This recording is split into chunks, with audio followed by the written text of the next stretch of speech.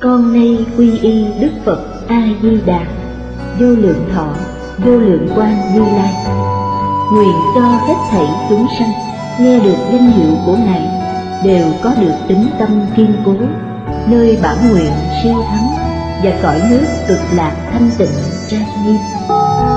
Con nay quy y pháp môn tịnh độ, tính nguyện trì danh cầu sanh cực lạc nguyện cho hết thảy chúng sanh đều được thọ trì tu tập, phương tiện thành phật tối thắng này. Con nay quy y đức quan thế âm bồ tát, đức đại thế chí bồ tát và thanh tịnh đại hải chúng bồ tát, nguyện cho hết thảy chúng sanh đều phát bồ đề tâm, sanh về cực lạc, nhập thanh tịnh chúng, chống thành phật đạo.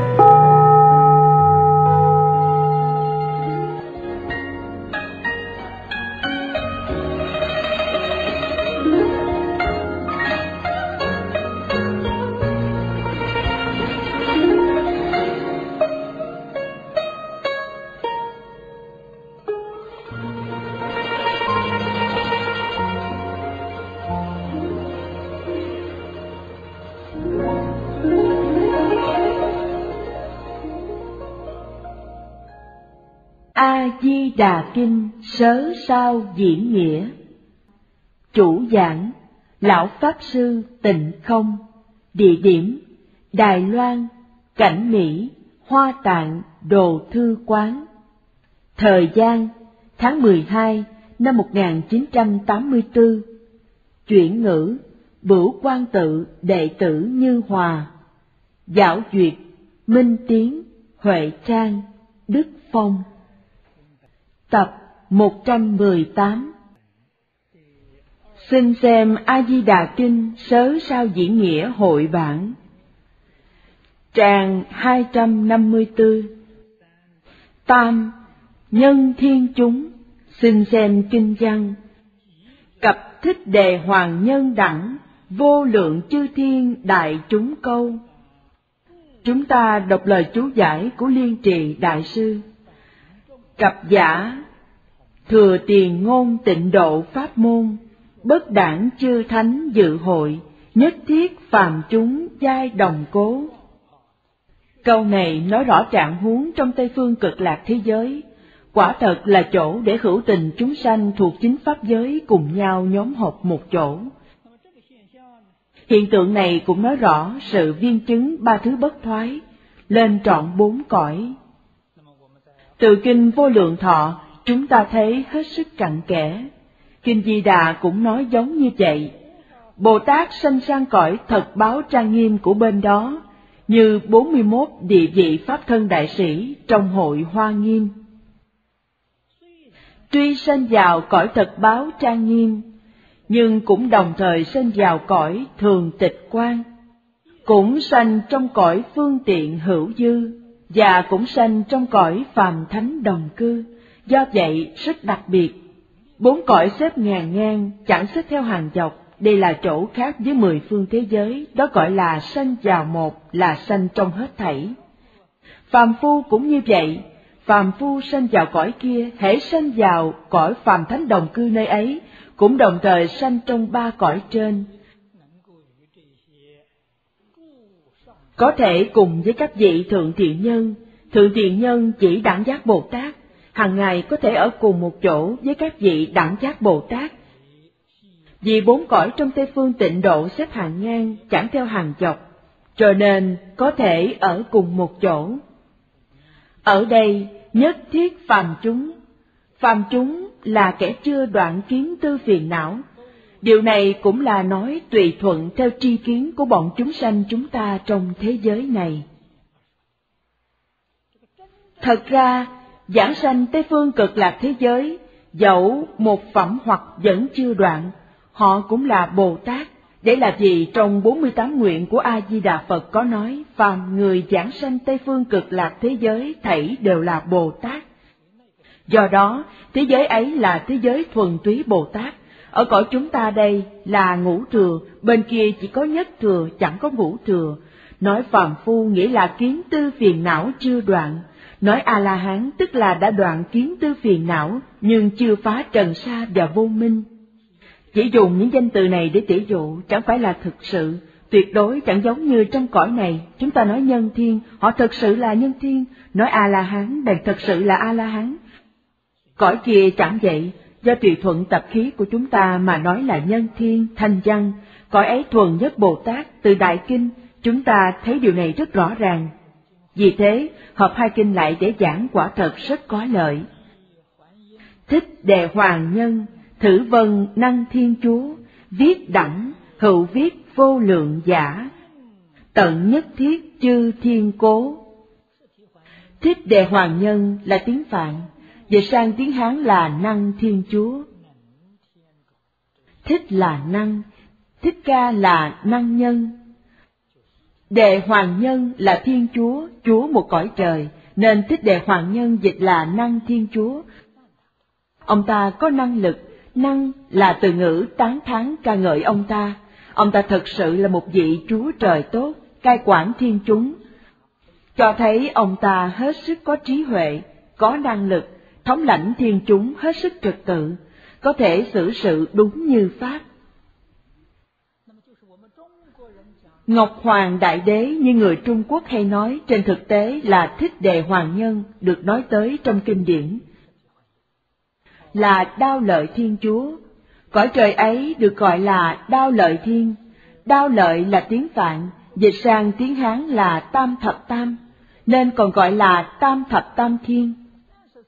Quý vị phải nhớ tam thập tam thiên là một tầng trời, chẳng phải là ba mươi ba tầng, có rất nhiều người hiểu lầm, nói Phật giáo bảo chỉ có ba mươi ba cõi trời, hiểu lầm rồi, tam thập tam thiên là một tầng trời. Vì sao nói ba mươi ba? Để lại nhân duyên của thích đề hoàng nhân trong đời quá khứ. Chúng ta biết bất luận trên cõi trời hay trong nhân gian, quốc dương hay tổng thống đều có phước báo rất lớn. Phước báo ấy do đời trước tu được, tuyệt đối chẳng phải là ngẫu nhiên. Đời trước tích đạo hoàng nhân tu hành phát tâm tạo tháp thờ Phật. Ngoài ra, có 32 người giúp ông ta hoàn thành công đức kiến tạo ấy. Sau đấy, ông ta làm Chúa Trời.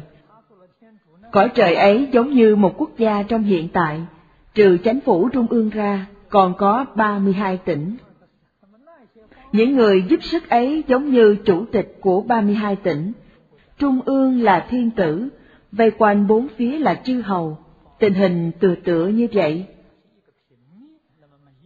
Cõi ấy bằng phẳng, mỗi phương có tám cõi trời, tức là tám khu hành chánh. Kể cả trung ương là ba mươi ba khu vực, chúng ta gọi chung là tam thập tam thiên. Mang ý nghĩa này, chẳng phải là ba mươi ba tầng. Do vậy ta biết, tu phước nhất định được phước báo. Biết tu phước đắc phước báo, chúng ta tạo tác tội nghiệp nhất định cũng có ác báo. Thiện ác đáo đầu trung hữu báo, chỉ tranh lai tạo giữ lai trì. Chúng ta nhất định phải tin tưởng điều này. Viết đẳng, hữu viết vô lượng giả, tận nhất thiết trừ thiên cố. Chữ đẳng này chỉ 28 tầng trời. Tuy kinh văn chẳng nói cặn kẽ, chỉ nói một mình thích đề hoàng nhân, nhưng tiếp đó có nói vô lượng chư thiên đại chúng câu, nên đều bao gồm trọn hết thảy. Viết đại chúng giả, tận nhất thiết chúng sanh cố. Nói tới đại chúng, chư thiên là nói tới 28 tầng trời, có các vị thiên chúng dự hội này. Đại chúng là nhân gian chúng ta, cho đến bao gồm cả Atula đạo, súc sanh, ngạ quỷ đạo. Nói thật ra chỉ có địa ngục đạo khổ nhất, chẳng có cơ duyên nghe Pháp, trong ngàn quỷ đạo mà có thiện căn thì vẫn có thể đến nghe kinh. Câu giả thông kết tịnh chư Bồ Tát dĩ hạ văn giả. Thượng tịnh Bồ Tát thị tiểu đại nhất đối. Thượng chỉ phía trước, thanh văn là tiểu thừa, Bồ Tát là đại thừa hợp thành một cặp tiểu đại. Kim cặp chư thiên đại chúng. Thị thánh phàm nhất đối. A-la-hán và Bồ Tát là thánh nhân, chư thiên và đại chúng là phàm phu, ghép thành một cặp thánh phàm. Thánh phàm cộng văn thử kinh, đại chúng dự hội trong pháp hội này vô cùng trang nghiêm, hết sức thù thắng. Vô vị tịnh độ, vi phàm phu sở bất năng giả. Đây là đại sư buốt lòng sát miệng chỉ bảo chúng ta. Đừng nghĩ Tây phương tịnh độ quá cao, sợ rằng phàm phu chúng ta chẳng đến được. Quý vị thấy trong kinh đã nói rành rành có phàm phu, phàm phu đều có thể đến đó, cớ sao chúng ta chẳng đến được, dụng ý ở chỗ này. Thích đề hoàng nhân giả, cụ vân thích ca đề bà nhân đề. Đây là âm tiếng Phạn đầy đủ, người Trung Quốc chuộng đơn giản, thường lược bất âm cuối, như thường nói Bồ Tát, lẽ ra phải là Bồ Đề Tát Đỏa. Chúng ta lược bất âm cuối, chỉ gọi là Bồ Tát, để là do người Hoa chuộng giản lược, chẳng thích trường ra. Thích ca giả, thử vân năng, đề bà nhân đề giả, thử vân thiên chúa, tường hữu ngũ chủng danh, khủng phiền bất tự. Chẳng nói nhiều vì điều này trọn chẳng quan trọng cho lắm. Ca giết Phật diệt thời, nhất nữ nhân phát tâm tu tháp, tam thập dị nhân tá chi. Giúp cho cô ta hoàn thành tháp ấy. Kim vương đao lợi là đao lợi thiên vương. Thống tứ phương tam thập nhị thiên, ba mươi hai người giúp cô ta trong kiếp trước, phước báo đều là sanh thiên. Đức Phật đã bảo chúng ta, trong Phật Pháp thường nói có năm thời kỳ, tức là ngũ chủng kiên cố. Năm trăm đầu tiên giải thoát kiên cố, nghe kinh, nghe Pháp tu hành rất dễ chứng quả. Năm trăm năm thứ hai, thiền định kiên cố, nhằm lúc Phật Pháp vừa mới truyền đến Trung Quốc. Do vậy, thiền tông Trung Quốc vô cùng hưng thịnh là do đạo lý này. Năm trăm năm thứ ba, đa văn kiên cố. Vào thời đại tùy đường, các tông phái hương thịnh là thời đại hoàng kim của Phật Pháp. Mọi người nghiên cứu, thảo luận giáo lý, phát huy rạng rỡ, đa văn kiên cố. Nói cách khác, chỉ biết nói, người thật sự đắc thiền định không nhiều lắm, từ lịch sử quả thật thấy rõ điều này. Thời kỳ thứ tư là tháp tự kiên cố, mọi người dốc hết tánh mạng tu phước, cất tháp, dựng chùa chiền, miếu mạo, làm những chuyện này. Thời kỳ thứ năm là thời đại hiện tại của chúng ta, 500 năm thứ năm, tức là sau khi Đức Phật diệt độ 2.500 năm. Đấu tranh kiên cố, trong kinh Đức Phật đã dạy rõ ràng. Nếu thế hệ hiện tại chẳng đấu tranh thì Phật đã nói trật rồi sao?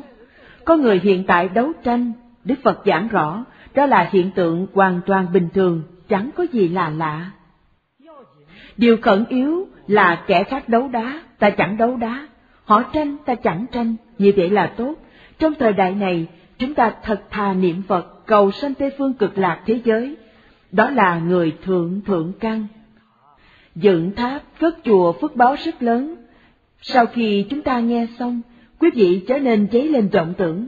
Chúng ta hãy đi xây chùa dựng miếu, tương lai có thể làm chúa trời của tam thập tam thiên để hưởng phước. Thuở ấy ông ta có thể làm được, nếu hiện thời quý vị xây miếu dựng chùa sợ rằng chẳng thể sanh thiên. Không chỉ chẳng thể sanh thiên, còn sợ phải đọa địa ngục A Tỳ, vì sao? Vì sao khi quý vị dựng xong, khiến cho người ta đấu tranh. Trước đây, khi đã tạo dựng xong xuôi, thỉnh Cao Tăng Đại Đức giảng kinh thuyết pháp, hướng dẫn đại chúng tu hành, công đức ấy rất lớn. Hiện thời sau khi xây dựng xong xuôi sẽ khiến cho người ta vận dụng hết tâm cơ để đấu đá, tranh đấu mỗi ngày. Trước đây là đạo tràng Phật Pháp, hiện tại là đạo tràng đấu tranh, vì thế quả báo khác nhau, người ta dựng tháp có thể sanh lên trời, nay chúng ta dựng chùa tháp sẽ bị đọa lạc. Vì thế, chư vị nhất định phải có trí huệ, phải hiểu rõ. Tôi giảng kinh nhiều năm như thế, chưa bao giờ khuyên người khác dựng chùa. Tôi xuất gia vào năm dân quốc 48, xuất gia chưa được bao lâu. Ước chừng vào năm dân quốc 50, Pháp Sư Vô Thượng ở Hồ Thanh Thảo, huyện Tân Trúc rất từ bi, dựng một niệm Phật đường cạnh chùa, tôi đã đến thăm, xây cất rất đẹp. Sư mời người ta tới đó niệm Phật, lại còn mỗi tháng phát không ít tiền chi dụng. Nhưng tìm không được người, không ai đến, quý vị mới biết hiện thời có một đạo tràng chân chánh rất khó. Chẳng phải là chuyện dễ dàng, chúng ta liễu giải hoàn cảnh hiện thời, liền biết phải làm theo cách nào. Nếu bản thân chúng ta tổ chức một pháp hội giảng kinh, công đức ấy rất lớn. Chúng ta tổ chức một lần đại chuyên Phật học giảng tòa, công đức ấy cũng rất lớn, khiến cho những người trẻ tuổi trong một thời gian ngắn cùng tập trung một chỗ nghiên cứu tất cả kinh giáo, hoặc mọi người chúng ta cùng nhau niệm Phật cộng tu, công đức ấy cũng rất lớn. Hiện thời chúng ta in kinh để bố thí, làm ban thâu âm để bố thí, những công đức ấy đều rất lớn. Thật sự có sức thì chúng ta thuê bao đài truyền hình một thời gian, thỉnh Pháp Sư giảng kinh ở đó mỗi ngày. Công đức ấy lớn hơn dựng chùa miếu, hoàng pháp lợi sanh mà. Hiện thời, muốn phát triển theo mục tiêu này thì không thể tiến hành nơi tháp miếu. Tháp miếu gần như đều là nơi trốn đấu tranh. Hữu A Hàm Vân, bổn vi nhân thời, hành ư đốn thí, tham năng tác chủ, cố viết thiên chúa. Trong quá khứ, lúc làm người trong nhân gian, Thích Đề Hoàng Nhân đã hành bố thí nhanh chóng. Có thể lãnh đạo những kẻ có cùng chí hướng, trung sức bố thí, hồng thành tựu Phật sự. Vì thế, quả báo hiện thời của ông ta là Thiên Chúa trên cõi trời. Đẳng giả, đẳng tam thập nhị, như ba mươi hai người kia. Dĩ cập kỳ dư giả, chữ kỳ dư chỉ chư thiên, vô lượng giả hữu tăng từ dĩ tận, tắc thái dục sắc, vô sắc chư thiên giả. Không chỉ là Thiên Chúa cõi trời đau lợi và chư thiên trong cõi trời ấy, ngoài đau lợi thiên ra, chư thiên thuộc dục giới thiên, sắc giới thiên đều đến tham dự pháp hội này rất đông đảo. Tiếp theo đây, giải thích chữ thiên có rất nhiều ý nghĩa. Thiên có nghĩa là quang minh. Thiên hữu đa ý hoặc danh trú, dĩ trú trường cố, hoặc danh vô sầu não, dĩ thường lạc cố. Chư thiên phước báo rất lớn, nhân gian chúng ta chẳng sánh bằng chư thiên. Bình thường chư thiên chẳng lo nghĩ, chẳng có phiền não. Trước khi lâm chung bảy ngày, khổ não mới xuất hiện. Khi ấy họ cảm thấy đau khổ vô cùng, đó gọi là ngủ suy tướng hiện tiền. Chư thiên là hóa sanh, chẳng phải sanh bằng thai, thai sanh, nên chẳng có sanh khổ. Vì là quá sanh nên nhớ chuyện quá khứ, do họ chẳng bị mê khi kết ấm. Hơn nữa, chư thiên đắc quả báo ngũ thông, trừ lậu tần thông ra, năm loại thần thông kia đều có đủ, chẳng phải do tu thành, mà do quả báo nên có, vì thế phước báo rất lớn. Chúng ta thường nói thiên y vô phùng, áo cõi trời chẳng cần may cắt, muốn mặc gì y phục đã ở trên thân, muốn màu gì, kiểu cỏ gì đều thuận theo lòng muốn mà biến hóa. Giống như Tây Phương cực lạc thế giới, vì thế chư thiên rất tự tại, họ ăn thứ gì cũng đều là như vậy, đều là tự nhiên biến hóa thành. Khổ vào lúc nào, lúc tướng ngủ suy hiện tiền, chư thiên diện mạo chẳng già yếu, bất luận tuổi cao đến đâu. Quý vị thấy họ vĩnh viễn là trẻ tuổi, chẳng suy lão. Tướng ngũ suy, thứ nhất là hoa héo, trên đầu chư thiên đều cài hoa, nam hay nữ đều chuộng cài hoa, hoa luôn luôn hết sức tươi tắn đẹp đẽ, nếu ngày nào đó hoa bị khô úa, vị trời ấy sẽ lo lắng, vì sao? Hễ hoa khô tức là thọ mạng chỉ còn bảy ngày. Thứ hai là thân thể hôi thối, khi phước tận thọ hết, đột nhiên trở nên hôi thối. Thân thể chư thiên rất sạch sẽ, không cần tắm rửa, trên thân có mùi thơm. Chính chúng ta thường khi lại Phật tụng kinh hoặc trong khi niệm Phật lúc rất an tĩnh nghe có mùi thơm, chúng ta chẳng thắp hương mà ngửi thấy mùi hương lạ là do nguyên nhân nào? Quá nữa là chư thiên đi qua, thấy quý vị đang niệm Phật, xem kinh nơi đây, họ dừng lại một chút để tỏ lòng kính trọng. Họ rất cung kính quý vị, tỏ lòng cung kính, trên thân tỏa hương thơm. Tuy chúng ta chẳng thấy họ nhưng ngửi thấy mùi thơm, đấy đều là tướng rất tốt lành. Thứ ba là dưới nách rịnh mồ hôi, đây là tướng suy, họ cũng rất kinh sợ. Thứ tư là y phục ô uế, họ chẳng cần giặt quần áo, vĩnh viễn chẳng dơ bẩn, chẳng nhiễm mảy trần, khi ấy y phục sẽ dính bụi, đất, dơ bẩn. Thứ năm là đứng ngồi không yên. Đây là tướng ngũ suy hiện tiền của chư thiên, họ cũng rất hoảng sợ vì biết thọ mạng chẳng còn được mấy ngày. Trừ nỗi thống khổ ấy ra, bình thường họ chẳng có ưu lự, cũng chẳng có phiền não. Tới khi ấy, ưu lự lẫn phiền não đều cháy lên, vì thế ở đây nói họ quả thật sướng nhiều khổ ít. Hoặc danh đăng minh, dĩ vô hắc ám cố. Chư thiên đều có quang minh, trên thân cũng tỏa quang minh, cung điện cũng tỏ quang minh. Vì thế, cõi trời là tướng khắp nơi sáng sủa, chẳng có tối tâm. Đây là nói rõ chữ thiên có nhiều ý nghĩa như vậy. Đại chúng giả, chư thiên nhi hạ, nhân cập tu la, tận lục đạo nhất thiết chúng sanh giả. Đây là một cách giải thích. Nhất vân kim tiền Bồ Tát, thanh văn, đồng danh đại chúng. Nói cách này cũng hợp lý. Thông kết giả, tượng ngôn dữ đại tỳ kheo chúng câu, kim thử câu giả, ngôn diệt giữ chư Bồ Tát, chư thiên, đại chúng câu giả. Phần văn tự này có thể giải thích theo nhiều cách, theo nghĩa rộng sẽ bao gồm cả những phần trước. Theo nghĩa hẹp thì chỉ nói trực tiếp trong đoạn này, nói cách nào cũng hợp lý.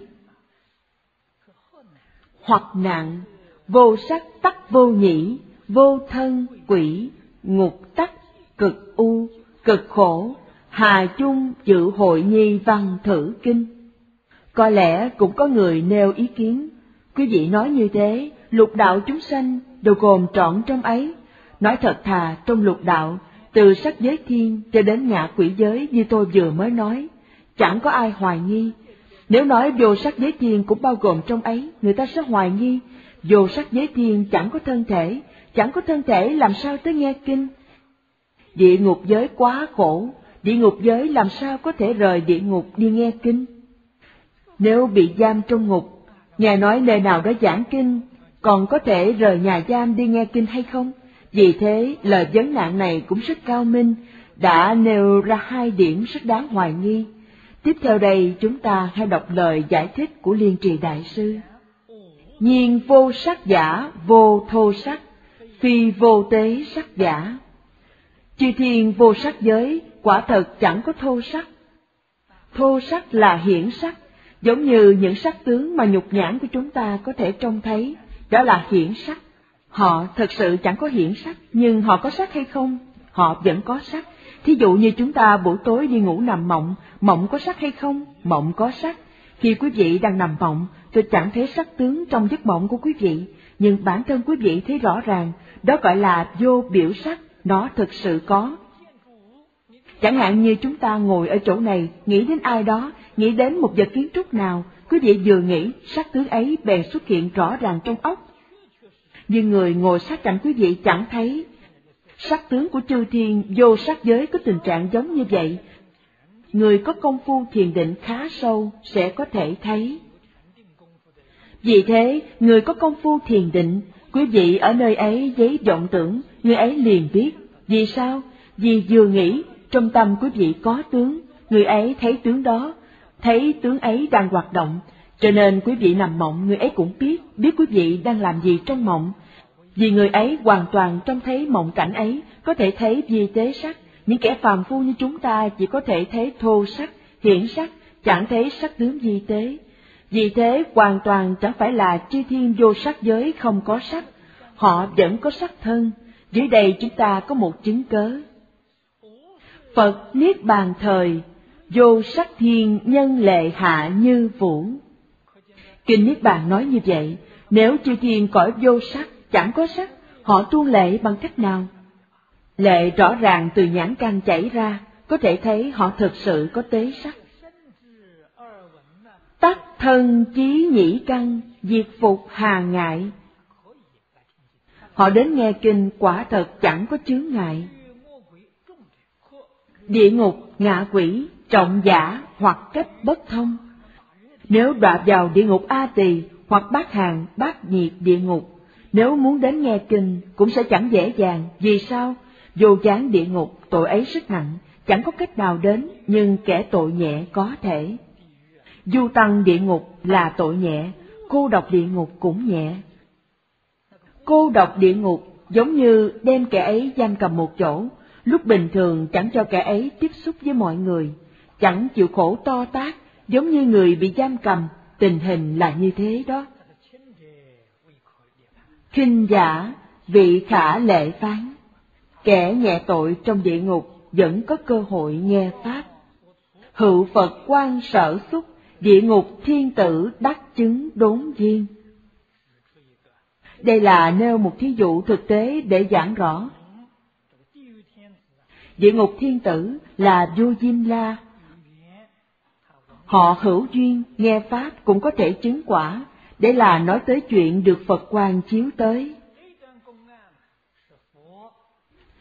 Câu chuyện này xảy ra vào lúc Phật làm Bồ Tát, còn đang tu nhân, Ngài là Bồ Tát, túc hạ hữu tứ thập chủng quang minh.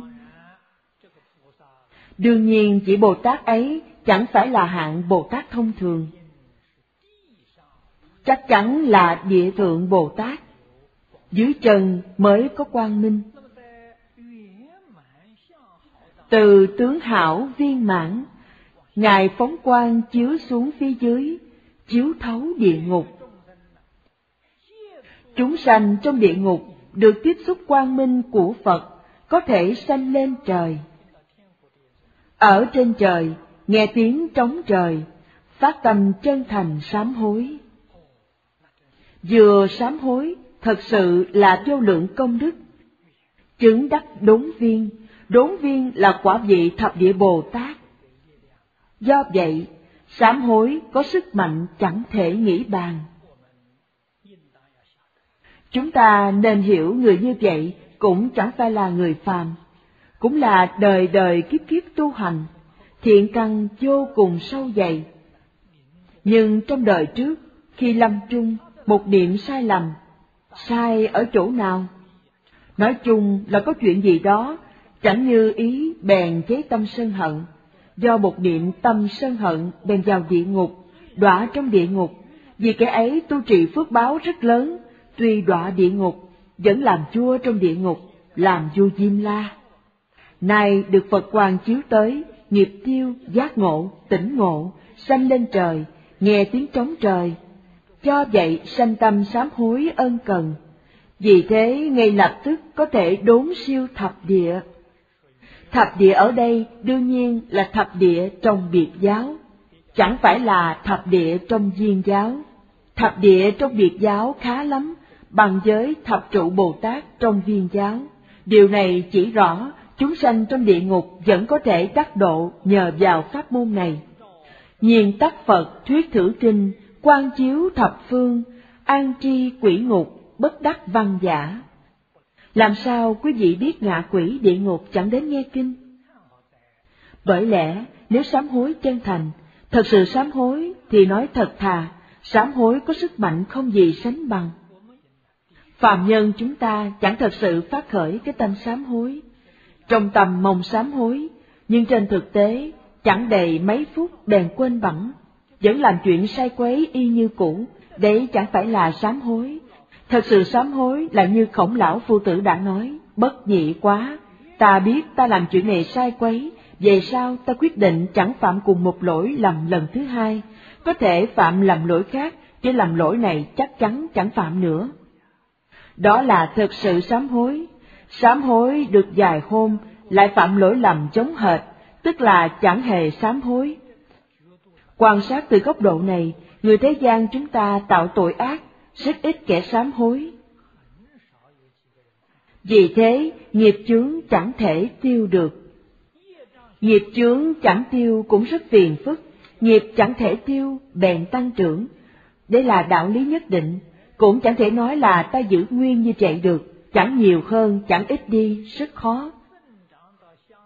Tiêu không được sẽ tăng trưởng, tăng trưởng đến độ kha khá, nhất định đọa trong tam ác đạo, ngàn muôn phần đừng nói ta mỗi ngày lại Phật, hàng ngày niệm Phật, tụng kinh, nói chung là trong tương lai dẫu ta chẳng thể giảng sanh, vẫn không bị đọa trong tam ác đạo.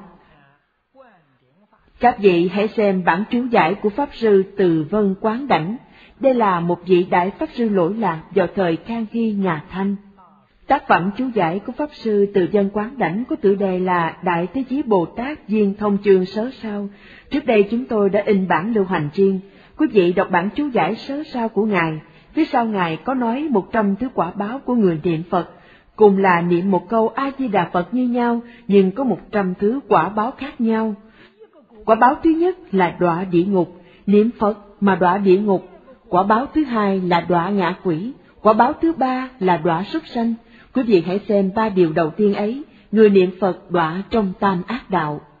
Thuở ấy tôi còn rất trẻ, vừa mới học Phật, thế chuyện này rất nghi hoặc.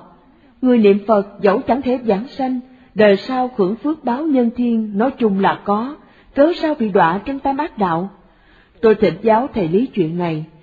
Thầy vừa nghe tôi nêu câu hỏi ấy bèn bảo, anh hỏi câu này rất quan trọng, tôi chẳng trả lời cho một mình anh.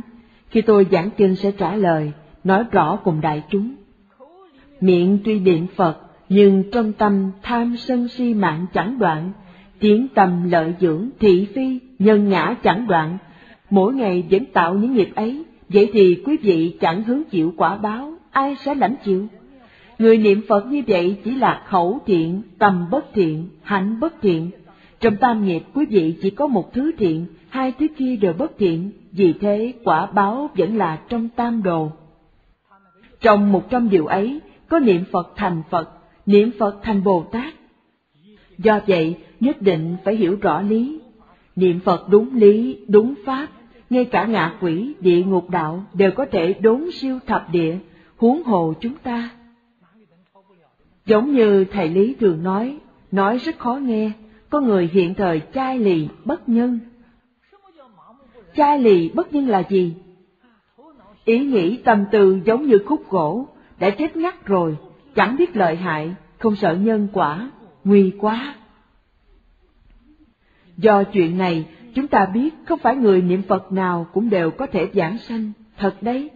Hiện thời, trong thế gian này, người niệm Phật đông đảo, người giảng sanh ít ỏi, nói cách khác đa số người niệm Phật dẫn vào trong tam ác đạo.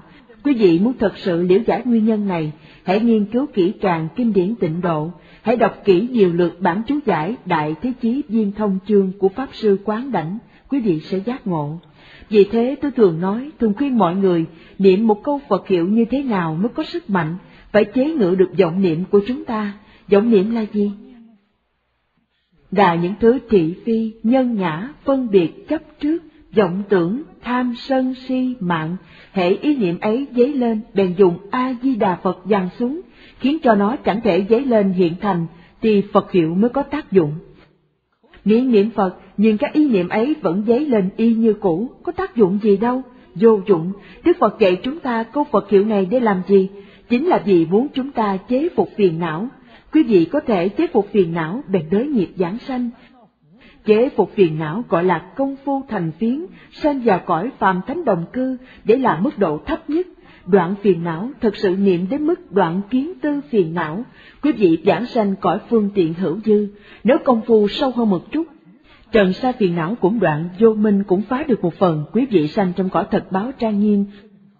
Ở chỗ này phải chú ý, phải đặc biệt ghi nhớ ta suốt ngày từ sáng đến tối niệm Phật, mỗi ngày niệm mười vạn câu Phật hiệu nhưng chẳng thể chế ngự phiền não, chẳng thể giảng sanh. Vì trong kinh, Đức Phật trọn chẳng bảo quý vị mỗi ngày niệm Phật nhiều hay ít, dựa vào quý vị niệm nhiều hay ít để đến tiếp dẫn quý vị giảng sanh, chẳng dựa vào đó mà dựa vào mức độ thanh tịnh của cái tâm quý vị. Một câu A Di Đà Phật là thuốc để tịnh hóa thân tâm chúng ta, quyết định trở nên coi thường. Câu Phật hiệu quả thật giúp chúng ta tịnh hóa thân tâm thì niệm Phật hiệu có sức mạnh khởi tác dụng. Nếu không, miệng niệm suốt ngày từ sáng đến tối, niệm mười giảng câu Phật hiệu, cổ nhân vẫn chê cười, trách toát cổ họng, cũng uổng công, quý vị vẫn đi vào tam đồ như cũ, rách toát cuốn họng vẫn uổng công. Do vậy nhất định phải đúng lý, đúng pháp hàng phục phiền não, dằn ép nó. Vì thế ý niệm vừa dấy lên, ngay lập tức đổi nó thành A-di-đà Phật, niệm tới khi tâm chính mình thanh tịnh, bình đẳng, từ bi, niệm đến khi phiền não, tập khí của chúng ta chẳng dấy lên, hiện hành, Đương nhiên đoạn chẳng dễ dàng, nhưng có thể niệm đến mức khiến chúng chẳng dấy lên hiện hành, mỗi cá nhân đều có thể làm được. Niệm đến dứt phiền não, đích xác là chẳng phải ai cũng có thể làm được, nhưng niệm đến mức chế ngự phiền não, tạp khí thì ai nấy đều có thể làm được, lại còn do sức mạnh của việc thật sự sám hối, giảng sanh Tây phương cực lạc thế giới, phẩm vị cao hay thấp xét theo chỗ này. Vì thế, cuối bản chú giải quán vô lượng thọ Phật Kinh, các tổ sư Đại Đức xưa kia đã nêu trường hợp của vua A Xà Thế.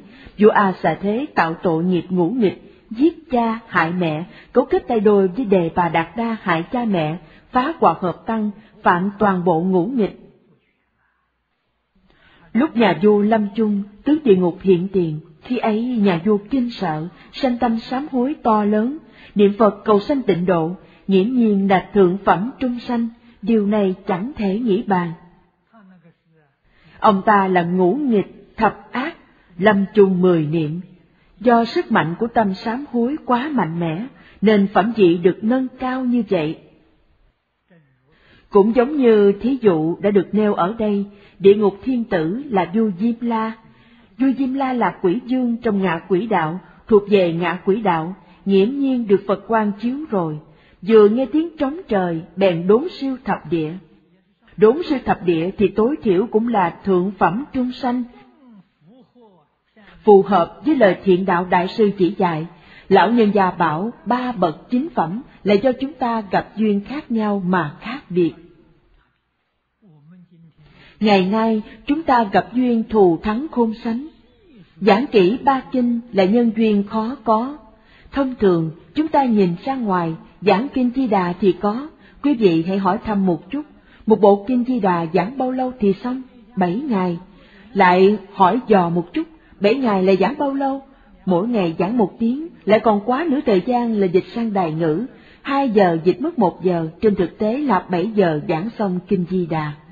Quý vị thấy chúng tôi giảng ở đây mới là mở đầu, đã hết 118 lần giảng, vừa mới là phần kinh văn mở đầu, trong tự phần vẫn chưa giảng xong thông tự, nhân duyên này thù thắng khôn sánh, cả đời khó gặp gỡ, duyên thật sự đầy đủ. Gặp duyên đầy đủ, phần còn lại là bản thân chúng ta có chịu làm hay không? Đây là vấn đề thuộc về thiện căn và phước đức của mỗi cá nhân. Thiện căn là có thể tin và hiểu. Ta nghe ở nơi đây, thật sự nghe hiểu, có thể tin, hiểu, đó là thiện căn của quý vị có thể nguyện, có thể hành là phước đức của quý vị. Quý vị thật sự phát nguyện, thật sự chịu niệm Phật, thật sự chịu sám hối, đó là quý vị có phước đức. Ba điều kiện thiện căn, phước đức, nhân duyên đều đầy đủ, quý vị sẽ giảng sanh. Kinh dạy, chẳng thể do chút ít thiện căn, phước đức, nhân duyên mà được sanh về cõi ấy. Ba điều này đều trọn đủ viên mãn, nhiều thiện căn, nhiều phước đức, nhiều nhân duyên, quý vị nhất định giảng sanh thế giới Tây Phương trong một đời này. Phẩm vị cao hay thấp thì sao? Cho bản thân quý vị nỗ lực. Dưới đây là đoạn giảng về xứng lý. Xứng lý, tắc tự tánh triệt thượng triệt hạ, thị la hán, Bồ Tát, chư thiên đại chúng câu nghĩa. Câu này thuộc phần bàn luận xứng tánh đối với đoạn kinh văn này Chúng ta hãy đọc lời chú giải của Tổ Liên Trì. Thị pháp bình đẳng, vô hữu cao hạ, Thượng nhi triệt hồ chư thánh giả, Thượng diệt giữ chi câu, Hạ nhi triệt hồ lục phàm giả, Hạ diệt giữ chi câu. Trong hai câu đầu, Pháp là nói tới Pháp tánh, đây là nói về chân như bổn tánh, trong chân như bổn tánh dạng pháp bình đẳng, vì hết thảy các pháp duy tâm sở hiện, duy thức sở biến. Cái có thể hiện, có thể biến là chân tâm của chính mình. Cảnh giới được hiện, được biến, thực tại là một, chẳng hai. Vì thế nói, thị pháp bình đẳng, vô hữu cao hạ. Đấy là thật, là sự thật ngàn dạng phần xác đáng. Các khoa học gia hiện thời tuy chi kiến tánh, nhưng cũng biết các pháp thế gian bình đẳng, chẳng hai, chẳng khác. Vì sao? Các khoa học gia cận đại đã phân tích vật chất, chúng quả thật bình đẳng. Con người thấy kim cương quý báu nhất và bùn đất rẻ rúng nhất. Các nhà khoa học phân tích thấy chúng hoàn toàn tương đồng, về căn bản chẳng khác gì nhau. Vật chất cơ bản là một, không hai, chỉ là công thức cấu tạo khác nhau. Phân tích kim cương là nguyên tử, điện tử, các hạt cơ bản hợp thành. Bùn đất cũng do nguyên tử, điện tử và các hạt cơ bản hợp thành. Nếu chia nhỏ hơn, chúng đều là năng lượng dao động. Khoa học gia hiểu rõ đạo lý này. Hết thảy dạng vật trong thế gian là bình đẳng. Cái gọi là bất bình đẳng chỉ là chấp trước của mọi người, rời khỏi hết thảy phân biệt chấp trước. Hết thảy các pháp bình đẳng. Trượt nhi triệt hồ chư thánh. Nếu pháp tánh thật sự có cao hay thấp, thượng sẽ chẳng thể thấu triệt hạ, hạ chẳng thể thấu triệt thượng, vì chúng là bình đẳng nên có thể triệt thượng triệt hạ. Thượng là Bồ Tát La Hán, hạ là chư thiên, nhân dân, có thể nhóm họp. Đại chúng có thể nhóm họp cùng một chỗ. Điều này cũng nói rõ Tây Phương tịnh độ là một cõi pháp tánh, bốn cõi của nó viên dung. Chúng ta thường nói pháp môn này là hoành xuất tam giới, nhưng không biết Tây Phương cực lạc thế giới cũng là hoành sanh tứ độ. Thật sự chẳng thể nghĩ bàn, đúng là pháp khó tin như Kinh đã nói. Lương dị tứ đế, thập nhị nhân chuyên, tứ đẳng, lục độ, ngũ giới, thập thiện, vạn hạnh phân nhiên, nải chí bát vạn tứ thiên chư trần lao môn, duy thị nhất tâm, chân thật tánh trung vô sai biệt cố. Có thể nói là câu này đã bao quát trọn hết các phương pháp tu học trong Phật môn. Tứ đế là khổ tập diệt đạo, là pháp tu của tiểu thừa thanh văn. Trong ấy nói tới hai tầng nhân quả, khổ tập là nhân quả thế gian. Diệt đạo là nhân quả xuất thế gian. Đức Phật thuyết pháp, nói quả trước, nói nhân sau. Nói quả trước, quả là những gì mọi người nay đang tiếp nhận, dễ giác ngộ. Sau đấy là bảo quý vị, khổ ấy do đâu mà có, nói ra nhân duyên, nay chúng ta chịu khổ, khổ do tập mà có. Tập là tạo tác, mê hoặc tạo nghiệp, đó là tập, mê hoặc tạo nghiệp, nên mới có khổ quả, tức khổ quả trong lục đạo luân hồi. Chúng ta thấy suốt thế gian cũng giống như vậy. Diệt là quả, diệt gì? Diệt phiền não, diệt sanh tử. Suốt thế gian chẳng có phiền não, chẳng có sanh tử. Vì sao có quả báo tốt đẹp dường ấy? Nhân của nó là đạo. Đạo trong tiểu thừa là 37 đạo phẩm, đại thừa là lục độ dạng hạnh Bồ Tát đạo. Trong đoạn này, do nói tới tứ đế, nói đến 12 nhân duyên, lại nói tứ đẳng lục độ. Ở đây tứ đế, 37 đạo phẩm chuyên nói về thanh văn đạo là pháp tu của hàng tiểu thừa.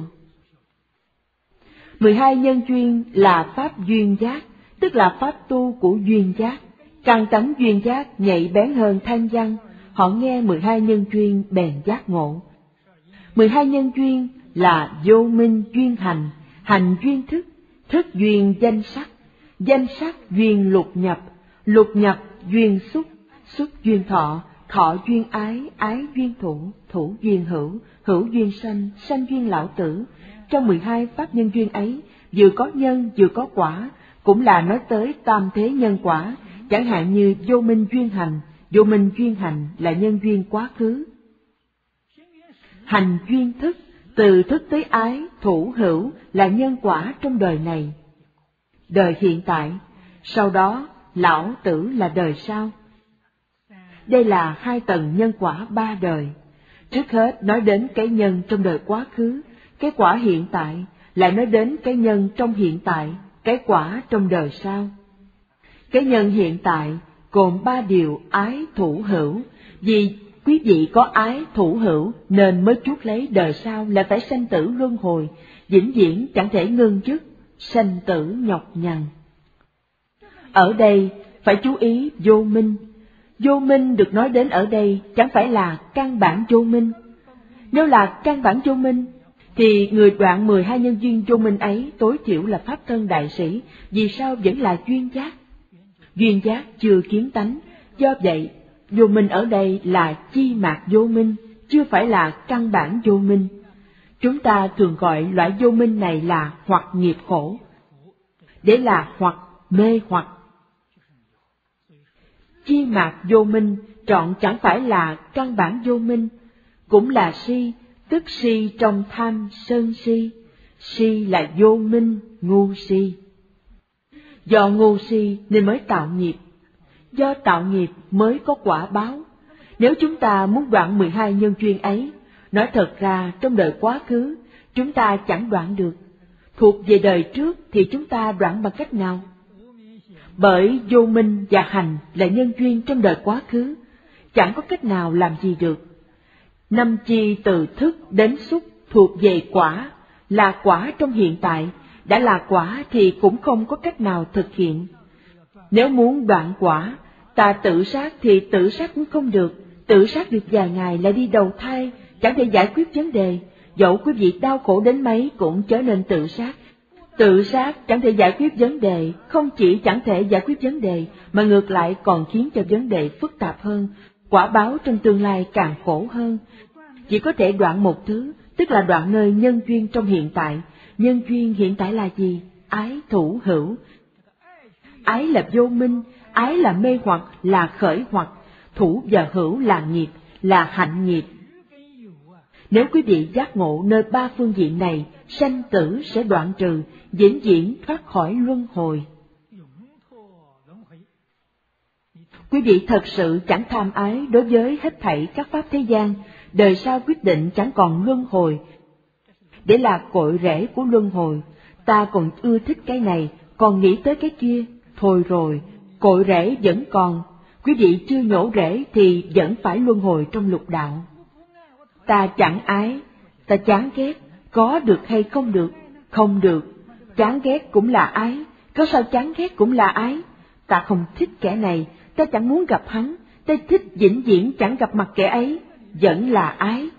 Chư vị phải hiểu, ái ấy bao gồm cả ưa ghét trong đó, quý vị ưa ghét kẻ khác là ái, mà chán ghét hắn vẫn là ái, vì sao? Ưa thích kẻ khác, ta thích tiếp cận hắn, chẳng ưa thích hắn, ta thích chẳng phải gặp mặt hắn, thích hắn xa lìa ta. Do vậy, thể đều thuộc về ái, thử hỏi chúng ta có cái tâm ấy hay không?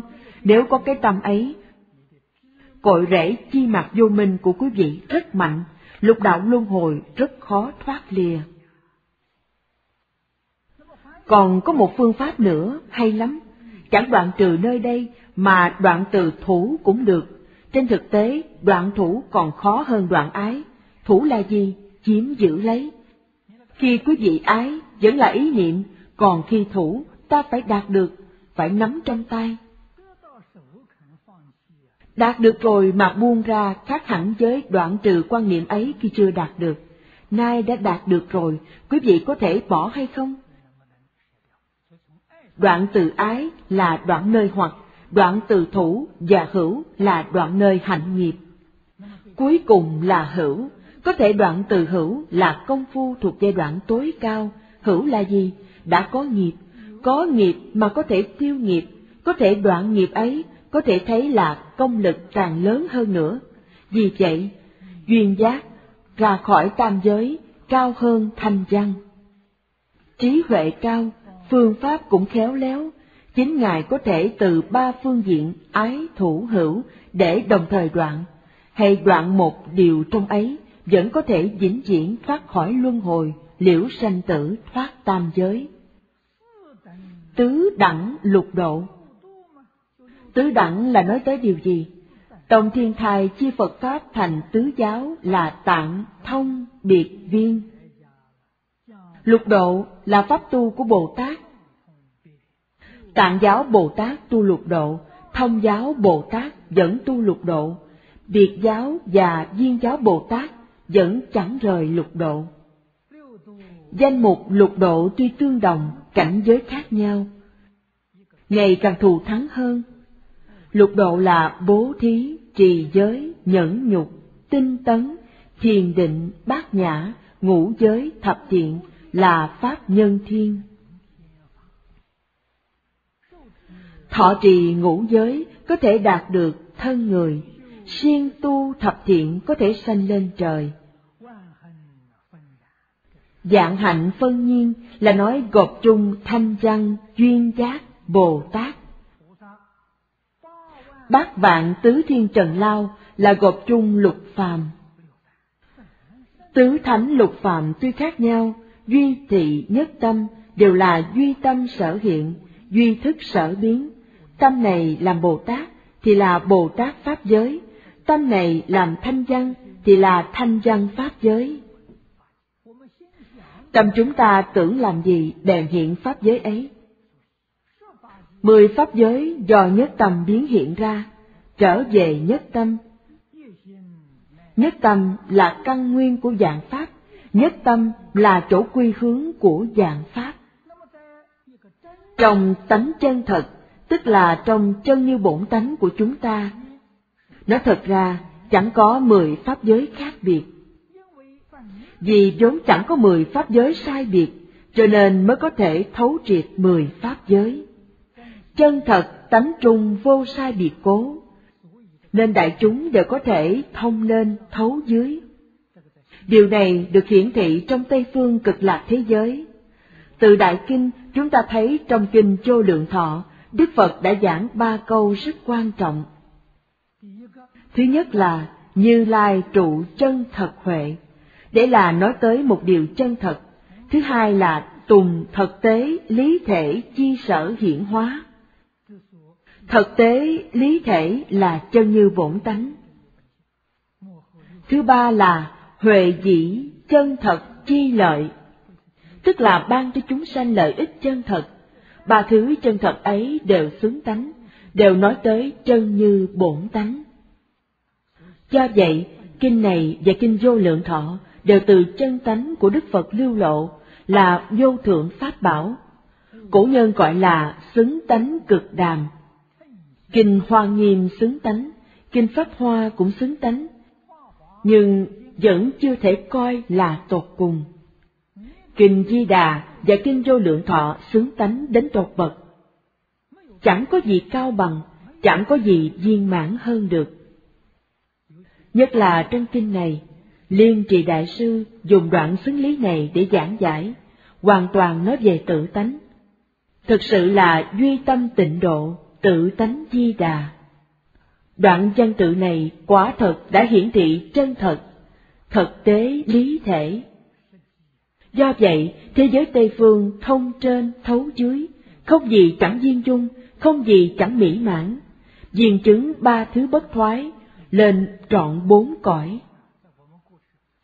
Trong quá khứ, chúng tôi nghĩ thế nào cũng không ra đạo lý này, hiện thời dần dần hiểu rõ, dần dần nhận ra đường nẻo, đúng là pháp hỷ sung mãn. Đối với sự tu học và hoàng dương của chúng ta, nảy sanh lòng tin khôn sánh. Long xà hỗn tạp, phàm thánh giao tham, thử gian Phật Pháp trụ trì, bổn lai như thị. Câu này nói tới hoàn cảnh tu học hiện thời của chúng ta. Đại sư nói đoạn này cũng là vì có một câu chuyện xưa, có nhân chuyên. Trong quá khứ, vào đời đường, có thiền sư vô trước lên núi lễ Phật. Đến triều bái ngũ đài sơn. Trước đây, lên núi lễ Phật là tham học, không giống như hiện thời. Hiện thời lên núi chiêm bái là đi giảng cảnh, du lịch. Trước đây, lên núi lễ Phật không phải là đi xem phong cảnh, mà là đi tham lễ tri thức, tầm sư, phỏng đạo, vì lẽ ấy mà đi. Tâm sư vô cùng kiền thành, Giang thù Bồ Tát liền biến hóa thành một cụ già tiếp đãi. Ngẫu nhiên gặp gỡ, thiền sư gặp một cụ già, cụ già ấy hỏi sư, thầy từ phía nam tới phải không? Dân, tôi từ phía nam tới. Ngũ Đại Sơn ở phương Bắc, cụ lại hỏi, Phật Pháp ở phương Nam duy trì như thế nào?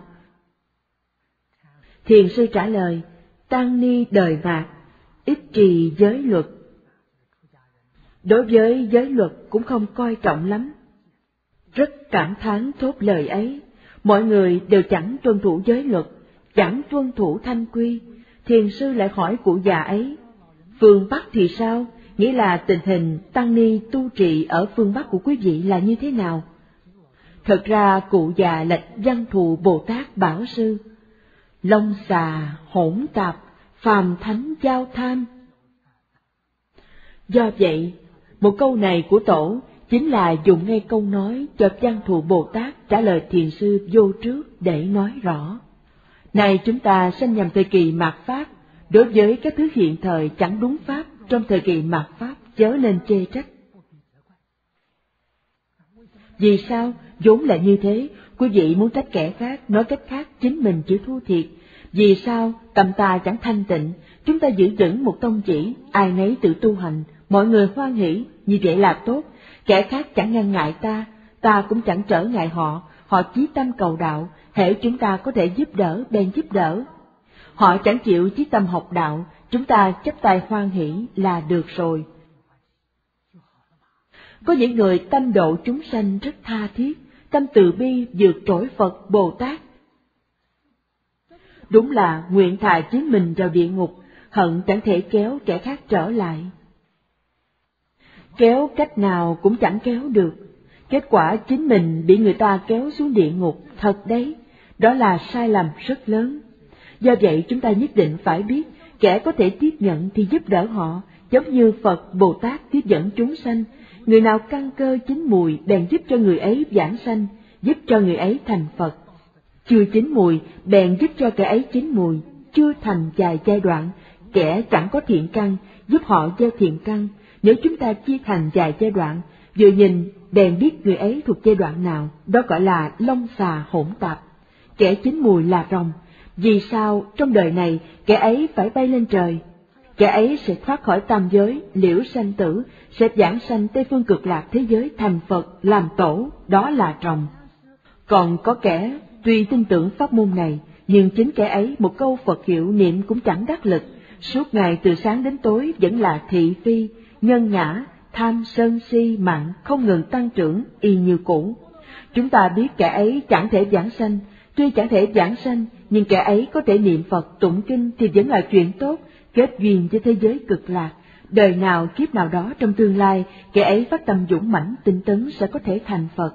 Vì vậy, chư vị phải hiểu, dũng mãnh tinh tấn chẳng phải là chuyện đơn giản, tuyệt đối chẳng phải là nói cả đêm nay ta luôn niệm Phật, đọc kinh lại Phật, ta rất tinh tấn, chẳng phải. Tinh tấn chẳng phải là ý nghĩa ấy, đó là gì? Quý vị có tấn nhưng chưa chắc đã tin, tin là gì? Tin là trong tâm quý vị chẳng có thị phi, nhân ngã, phiền não, chấp trước, vọng niệm, đó là tin. Tin là tinh thuần, nói cách khác, tin là chẳng sang tạp, tấn là chẳng gián đoạn, phải hiểu rõ ràng điều này. Tin trọng yếu lắm, ta có thể không xen tạp thì một câu Phật hiệu của ta sẽ vượt trội câu Phật hiệu của người có tấn chẳng có tin. Chẳng biết một câu Phật hiệu chuyên tin trỗi hơn bao nhiêu câu thiếu chuyên tin mười dạng câu của người ta chưa chắc đã hữu hiệu, chẳng thể hàng phục phiền não. Do một câu Phật hiệu của người chuyên tin có thể hàng phục phiền não, do vậy tin còn quan trọng hơn tấn. Quý vị đọc lời giác minh diệu hạnh Bồ Tát giảng trong Tây Phương sát chỉ, niệm Phật kỹ nhất là xen tạp, vì hễ xen tạp sẽ chẳng thể chuyên tâm, chẳng thể chế phục phiền não, chẳng thể tiêu nghiệp chướng, do vậy quý vị phải đạt đến chẳng xen tạp. Chẳng xen tạp tức chẳng phân biệt, chẳng chấp trước, chẳng có vọng tưởng, chẳng có tham sân si mạng, đó là chẳng xen tạp. Nếu lúc thật sự đạt được thuần túy, chẳng xen tạp, trong tâm chỉ có một câu Phật hiệu, chỉ có một bộ kinh di đà này. Trừ điều ấy ra, kinh điển gì cũng đều có thể tạm thời gác lại, đó là tinh tấn thật sự. Tôi muốn nghiên cứu những đại kinh, đại luận, thì thảy đều về Tây Phương cực lạc thế giới gặp A-di-đà Phật rồi hãy tính, hiện thời chẳng xem để là tinh tấn thật sự. Hôm nay đã hết thời gian rồi, chúng tôi giảng tới đây. Nam Mô A Di Đà Phật Nguyện đem công đức này hồi hướng bốn ân và ba cõi, nguyện khắp Pháp giới các chúng sanh, đồng sanh cực lạc thành Phật đạo, chúng Phật tử đạo tràng tịnh độ. Nam Mô A Di Đà Phật